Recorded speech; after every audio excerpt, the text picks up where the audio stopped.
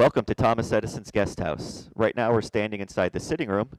Next to me is Mina Edison's piano. After meals, you could expect Mina to be sitting here playing the piano, entertaining all her friends.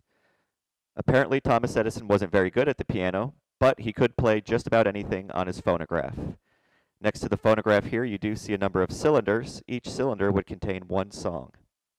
You'll also notice on the table Parcheesi, said to be one of Edison's favorite games, although his children claimed whenever he was losing, he would change the rules.